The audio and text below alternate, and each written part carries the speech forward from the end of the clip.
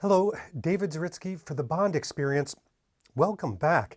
You know, there is a movement right now with Bond brands. There's a movement around creating a certain homage around their Bond products. A Bond brand comes out with an item, very often it's screen used, it's from one of our favorite movies or maybe a movie to be, and they use one particular word to forward the brand, and that word is inspiration. An inspiration to then create new items. And the brand we're talking about today has done just that. It's Barton Perreira. Now, the name should sound very familiar to you. We've done a series of unboxings and reviews, and one of the most popular ones was their Joes. Now, the Joe, if you take a look over here, was made probably famous already. It's amazing. The movie hasn't even come out, and the Joe sunglasses from Barton Perreira are already famous because it is that image of Daniel Craig walking down the streets of London with the sunglasses on. I, I had the great fortune of being there, actually physically being there on set to watch him do that. And it was, there's only one word, it was iconic.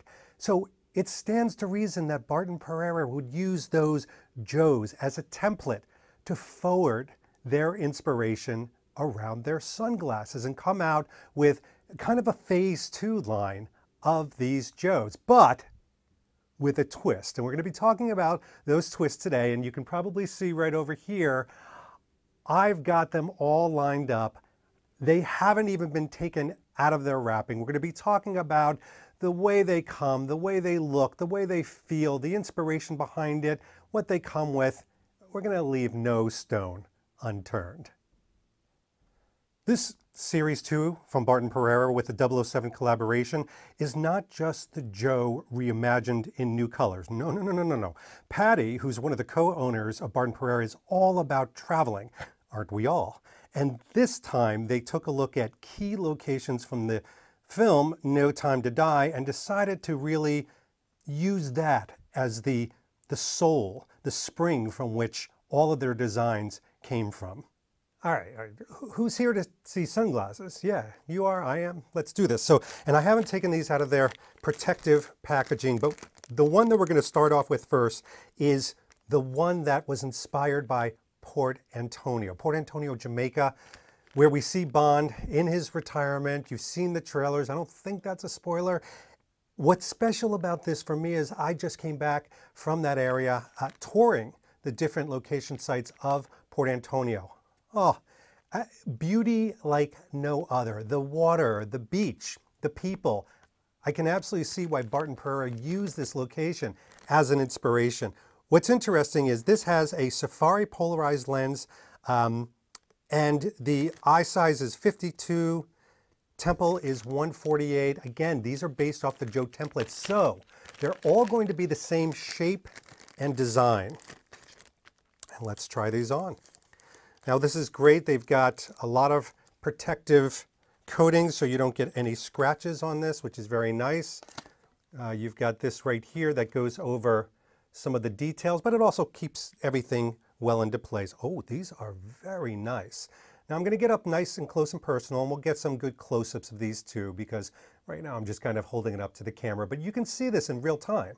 Uh, these are different. And before I even read the stats on this and the coloring and things like that, what I'm noticing right away is the lightness and, and, and not just the lightness of color, right? This is almost like a champagne-like color, but the lightness of the frame itself. And that's the great things about Barn Perreira. It's not going to weigh heavily on you. I, confession time, I have a very sensitive bridge, very sensitive nostril, sensitive skin. David, I think you're a little sensitive, aren't you? Yeah. So uh, this, these lightweights are very good. So let's, let's put these on and look in the, uh, the mirror here. Here we go. All right. So again, very classic. We'll take a nice close look up here. And one of the things that we'll show right away is this is a very flattering design. The Joes in themselves, they're classic. They're a very classic look. And so they pretty much look good on whether you have an oval face, a diamond face, a squared face, uh, round face, it, it, it, kind of transcends the shape. So it's, it's something for everyone. So what they did was they drew on the hues of the Port Antonio and Jamaica and the design, it, as I said, it's got this like champagne sand colored frame. It's got dark green polarized lenses, pretty much bringing up the white beaches, the lush green jungle of the area. It really takes on that atmosphere and that polished classic rectangular frame. It's designed in the US, handmade in Japan from a Japanese acetate and glass. Now, one of the things we talked about is um, subtlety or lack thereof. But in this particular case, you know, we always kind of get on about bond branding. When, when there's a giant bond label on you, it's, well, it takes our hidden, invisible hobby and it makes it opaque. People can see it, and we often don't like that. So the, the 007 on the arm is very subtle. You'd be hard pressed I think you can kind of see it there to even see it. And I think a lot of that is this champagne colored frame really adds to the fact that it is not overt. By the way, this frame, I have to tell you, when I first saw it online when they made the announcement, I was like, nah, it's okay, but I'm really liking the lightness of color because it's so different. I have a lot of dark frames. I have a lot of tortoiseshell frames, but this is something that is different. It's very evocative of warm weather. It's very light. It doesn't uh, smack of, of a wintry feeling. It, it smacks of the it smacks of Jamaica. It smacks of that kind of island feel of, of lightness and airiness, you know, one heart and, and love and all those things that you walk away with. So there is a lot of emotional connection to the marketing aspect of these particular ones. But you know what? We've got to get on a plane and head elsewhere. Can you hear that? That's the, uh, that's the, the beat of Cuba, Havana, Cuba to be exact, because we're heading to Havana for the next location, the next inspiration for these El Nidos, still in its protective bag. We're going to take these out. Now it's interesting right away. We've got, um, again, polarized lens. It's kind of, uh, it's actually termed uh, the lens as an Old English polarized lens. You know, they look, uh, they look dark brown to me, but let's, let's give them a try on. That's what we're doing here. We're putting these on. Okay, so what's great about this is, you know, this, I think Barton Perreira caught it right. I mean, these do feel like they have a kind of a, a Havana Cuban flair, you know, that Latino flair. It's uh, got this beautiful, I would say, um, almost like tortoiseshell. We'll get some close-ups here for you, of course we will, because that's, that's kind of what you see. And only, only one arm, I'll turn this around, only one arm has the 007, which makes it very subtle. And when you have it on, it's hiding behind your ear. So those that were concerned about the branding uh, probably won't need to be concerned, especially with the lighter frames, but the darker frames, they do stand out a little bit more, you know, mea culpa, just to be uh, absolutely authentic. But these are very dark. I mean, these, these obviously, if I come up close, what's great is the light is going right through them. So they have a certain um, clear aspect to it. They're not all opaque and you know they have like an uh. That is absolutely the wrong word, David, but I'm going to keep it. And we need to hear some stats on these because there's more than meets the eye. Oh. So what Barton Perreira did here is they drew on the nighttime hues that you're going to see in the movie around Havana and the El Nido bar scene. We've seen a lot of images from that. We've seen even some trailer aspects to that. This design itself has what's called a deep umber brown frame with dark brown polarized lenses. And again, this classic rectangular frame, the Joes, it's also designed in US, handmade in Japan from that Japanese acetate and glass. The lightness of this, this, this signature lightweight feel, the sunglasses, is because it's, it's actually a resin-based polymer, plastic that's used. It's called Zylonite, and it's tumbled for several days, then it's hand polished twice. Uh, it, what that does is it creates a very, very smooth surface. And it, I'll tell you what, it's super light, it's super durable, and it's super glossy, so it stands out. So I'm kind of digging that.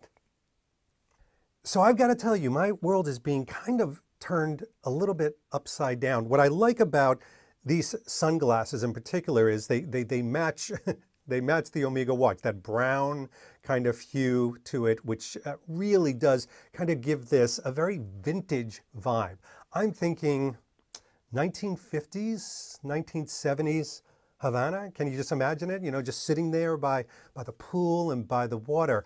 But I've got to tell you, I'm, I'm, I thought I would be gravitating more towards the darker frames. I kind of like that light one. That light one really surprised me more than I expected, probably because it's so unique and so different. But I like these. I like the El Nidos, love that name, uh, because of the classic nature. So if I was going for something different, I might take the Port Antonios. If I wanted something and I said, you know, David, I'm, I'm a traditionalist. You know, I tuck my shirt in when I go to work. I might go for these, uh, this, this far in at least, because they are a little bit more traditional, little less avant-garde. But we got a next one to go to. So these next ones, I, I have a lot of heart for. Probably because, just like Port Antonio, I've been to this place. And that makes it very special. I mean, even if you haven't been to the place, once you see it in the movie, this will be a, a very special place. It's Hakadal. Hakadal in Norway. Uh, Morten Steingrimsen took Danielle and I on an amazing tour of Norway. Hakadal was one of the places because it is where we see that, that yellow cheese-like house. We don't know what's happening there, and even if we did, why spoil anything? But Hakadal was used to create these. The lens itself is called noir, but the style is Hakadal. Hmm. Now, Hakadal, the scene is very snowy. It's very cold. It's, it's icy. It's a little scary. And again, don't know what's happened, but we've seen some imagery from there, and we know probably Safin is there with who knows else. But look right away. Let's, let's bring these up in close. I mean, this, first of all, look how clear that is. All right, that even that noir lens is, it's almost like a dark gray, but I'll read the specifics in a second. But look, look at the frame. I mean, it's near, it's almost like, it's like glass. It's, it's like ice, not snow, ice. So to me, this is really capturing that coldness of Hakadal. Of course, we were there during the warm weather when the mosquitoes were biting. Go in the winter, trust me. So here we go. We're going to put these on.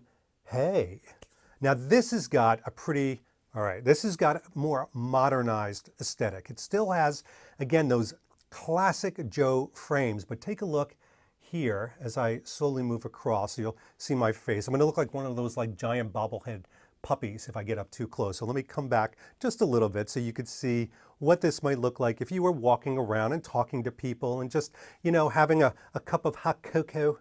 Actually, they have, um, they have fish oil is what they have, and it's delicious every morning. I digress. This does feel and look like that cold, wintry type feeling. Uh, the lens itself also has that darkness to it, and we, we feel like there might be something dark happening there, although Norway's a very light and, and happy people. But the lens and the frames combined together captures that cold, snowy feeling that I think Fukunaga is going to transform once we see the movie. And, and as you can see, the lenses are very opaque, that noir, that, you know, which is night. It's basically night. It, it's got darkness. So, you know, you're not going to see that, that eyeball action through there. So if you're looking for that coolness, to me, this has a slightly more avant-garde modern feel than even the Port Antonios. So that's something to consider when you're thinking about, I wonder which one I'm going to gravitate to. I have got a sneaking feeling that Morten might be gravitating to this. But let's read some specs. And just like the other sunglasses, Barton Perreira drew on certain hues and atmospheres of Hakadal. The design has a translucent blue frame with dark lenses, pretty much reminiscent of the icy cold Norwegian landscape. The classic rectangular frame is again the Joe's, and it's got that same designed in USA, Japanese made type atmosphere that kind of brings it all together. So I like these, and I know many people are going to be gravitating to these. They're not probably in my top two right now. This is all about being frank and honest. But let's move on to the last pair. So it's, it's safe to say this last location that acted as inspiration for these sunglasses is on a bucket list. It's pretty damn high up the bucket list. It's Matera, Italy. We know the scenes, we know the environment. It's been in every trailer. I feel like Matera could be its own character in the film and, and certainly an environment to which anything can happen. Adventure, romance, excitement, and in this case, inspiration. So now we are looking at, still in its protective coating, the Matera sunglasses Green smoke lens. Ooh, I'd like me a green lens. I do, I do, I do. In many of the sunglasses that I have, I don't know what it is. I like green. Maybe it harkens back to something, you know, very traditional, you know, very pilot-like, you know, that green lens that you're so familiar with. Oh, these are nice. Oh, these are different than I expected. Interesting. All right, here we go. We're gonna put these on. You're not gonna see a different shape, but look at, look at the lens here. Actually, before we even try them on, let's bring them up close. I don't know how well the camera is going to pick this up. I hope it does. We'll get some close-ups of this. But you should be seeing almost like a wood grain. I swear, that's exactly what it looks like. Whereas, you know, the other ones, for example, from El Nido, from Havana, had almost like a tortoise shell. This has almost like a wood grain type look to it. It's really unique. I mean, look at the side there. And again, that 007, it's really subtle. I mean, it almost blends in.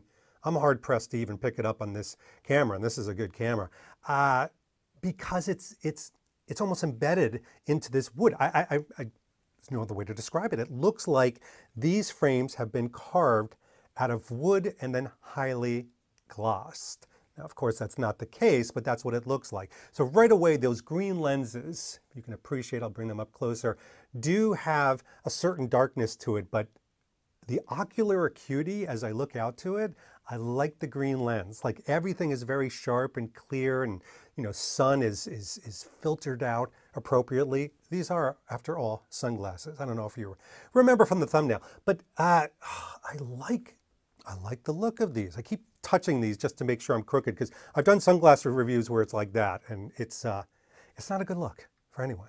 So here I'll stand to the side a little bit and yak to you.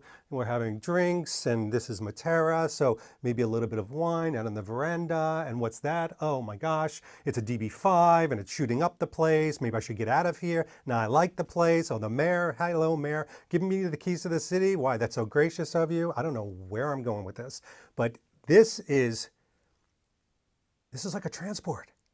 You know, this feels like it would be Matera. Matera's got that kind of, you know, old world feel to it. To me, I'm getting kind of like a 1930s, 1940s, 50s vibe. So it's kind of earlier in time, not just about the hues of the location, but I'm getting that, that transportation that I find some of the best accessories and clothes do. They, they take you away from things. We've, we've been in, depending on when you watch this, we've been in a lockdown for some time. I don't know if you heard.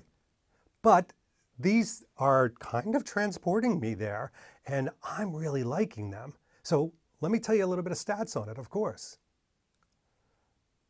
So Matera, Italy, what a perfect place to take the most romantic and adventure-laden hues and tie that with a tortoise-shelled stone gray frame. Oh, they call it tortoise-shelled stone gray. Maybe it's the stone gray tortoise-shelling that makes it look almost wood-like. And of course, the green lenses. Now this all echoes the colors of this ancient Italian hill type city, which is why we're getting that ancient, ancient feel that really, really plays very well with the senses. All right, I stand corrected. It's not wood. Uh, it's not a wood kind of type of thing. It is tortoiseshell. But what an interesting, unique tortoiseshell and ancient. I love that word because that's exactly what I think this is representative. It's it's a combination, just like Matera is, of ancient and modern intertwined together. And Barton Perreira knocked it out of the park with this. I'm, I'm, I'm starting to find my top two already, and, and you're probably sensing them as well. But we've got something else we've got to talk about, and that is it's not just about the sunglasses. So with the sunglasses, listen, you're going to be carrying these around, hopefully, sooner than later, we'll be, we'll be traveling with these things and taking this with us. So in this other package that comes in the box, uh, And again, we haven't taken this out yet. Okay, so love the pomp and circumstance that Barton Perreira does. This is like a, a nice fine tissue paper, but there's a hint. Oh, oh, there's a hint of something in there. And of course, what this is, is your details. What do I mean by details? Well, you're going to find out. First of all, it is the cloth. And we are unraveling the cloth. And lest you think it's not 007. Now, I don't mind the cloth having 007 emblazoned across it because I think that's a nice little nod and you take it out, you, you wipe your sunglasses, you clean them off, and it's very subtle. You know, it's very light, but it also has a, a certain nod, a certain collector's mentality to it. Now, in this box right here is something very special. I have gone over these in my other reviews, and we're going to take a look at these right now. But this is very flat. I want to show how slim this is. And there is a reason that this is slim, but you can literally put this into a jacket, you can put this into a pocket, you can put it into a purse, whatever you like, but this is actually your case. Look at the beautiful, the beautiful flocking on the inside. And again, watch this. I want to show you something. See the 007? You're like, ah, 007 branding. It's too, it, it, it, it's too overt. Watch. Closes over the flap. Disappears like Bond. You see where they went with that? Uh, inside, you've got nice little protective paper, but I want to show you the mechanism of action here because you're like, hold on a second, how does something flat fit these? What happens is, you see these sides? I love showing this. So you basically push these out and suddenly, what the, yeah, you have sunglass cases okay? And the sunglasses actually go in there. It's a pyramid shape. Um, when you're at a cafe, what's great is you can lean, put it on the table. It's dimensional. It's not flat, so you won't forget it. That's a big deal because you don't want to forget these. These are, uh, these are an investment. So speaking of investment, the people over at Barton Perreira had to really think about what was their next step. You know, would they would they do other kind of tweaks about the, the sunglasses that they had, or would they go in a different direction? To me, this is really taking inspiration from something that they knew worked. I mean, the Joes are arguably the most popular ones of their sunglasses, but let's get quotes directly from them, shall we? Following the success of Barton Perreira 007 collab collaboration, we were thrilled to bring our customers and Bond fans even more color choices in the classic yet evolving Joe style for our second installment with Eon Productions Limited ahead of the release of No Time to Die, said Bill Barton, co-founder and CEO of Barton Perreira. I often draw inspiration for our frames from unique places around the world, so it was a natural fit that the new colors of the collection were influenced by the various locations in the film, which exudes the elegance and flair James Bond is known for internationally, said Patty Perreira, co-founder and designer of Barton Perreira. Now, what I'm reading into that, and, and after people really having a great relationship with this, not just the brand, but the people of the brand, these are and I want to tell you this uh, Bill and Patty, they're Bond fans. They're Bond fans like you and I. I mean, so when they set out to make these four pieces and find inspiration behind them, give us different colorways and different hues according to the locations, but still connected to Bond and No Time to Die, they thought about it from a fan point of view. Many times you can even speak to and connect with Patty in the Barton Perreira stores. You'll, you'll find her in there connecting and rubbing elbows. She, she likes the relationships, which is fantastic. So here comes the hard part. Let's say you're considering one of these. Let's say you're considering all of these. All of these is the easy part. Which one, though, if you were to pick one, is the hard part? I've got to tell you, after trying these on, I, I, I'm thrown. I'm thrown because the ones that I thought I was going to gravitate to, I didn't. Now, I thought I was going to like the Matera ones, you know, the ones that I call wood grain, which isn't wood grain, it's a, it, but it is a gray stone tortoiseshell. I love. I am digging these. I want to wear them out in the wild, get some reactions, and I'm going to do just that. However, the ones that really shocked the heck out of me, the ones that I said, these, I think, are going to be a signature piece of mine. they're the Port Antonio ones. They really are. They, they're different, they're light. To me, they scream of a bygone era, something very Fleming, Bond, Jamaica. To me, these captured the look and feel of those locations, environments better than any. And by the way, when I set out to do this video, I did not even think that I was going to pick a winner. But this is so personal. It's personalized. It's individual. It's it's it's like bond. It's what you take into the room with you. So my suggestion is when you look to purchase one of these, really think about which ones are going to be connecting with you, not just from a look, not just from a feel and what it's made of, not just from the heritage of the brand, but which one's really going to be personally and emotionally connecting with you because these are investment pieces.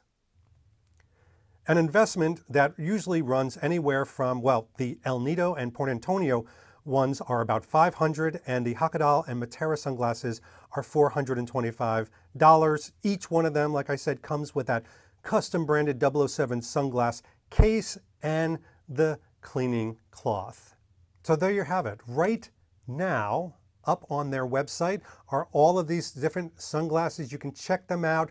Really good images, really good pictures. But I hope, I hope this review and this discussion, I, I hope it helps. And by the way, if, if you don't get these sunglasses, at least you're getting to see what they are. You're getting to get to know the brand a little bit better. So there's no downside to this. If you are choosing one of these sunglasses, I'm hoping that the look and the style, the discussion, um, my first impressions up close and personal have helped as well. And I'm going to keep these on because the sun's starting to come out and you know how we do this here. We're going to keep talking about this and taking images of these out into the wild. But for now, I'll let you go. This has been David Zaritsky for the Bond Experience. Thanks to Barton Perreira for sending these, and we will talk to you real soon. It's time. Cheers. Thanks for watching this episode. If you want to be up on the latest from the Bond experience, just click on this subscribe and subscribe to our channel. You're going to get all the latest and greatest information plus some exclusive content. And by the way, speaking of content, here's something especially for you just because we know you. Talk to you soon.